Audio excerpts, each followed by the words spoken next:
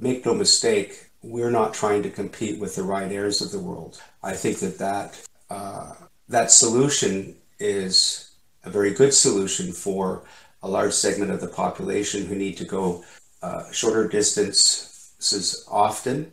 The one thing that I've found uh, since going from the commercial model to private model, it used to be in the commercial model that I would take trips really needlessly just to keep up my uh, my main airline uh, loyalty status so that I could be a top top tier status every year. And so the the number of trips that I would take that would just be done to take advantage of that probably in some ways um, outnumbered the ones that I actually needed to take for business or my personal life. Now um, I only fly when I absolutely need to. It's much more efficient.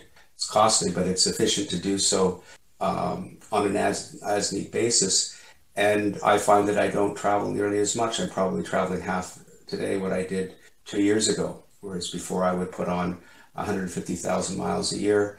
Now I probably will do no more than 50,000 uh, miles.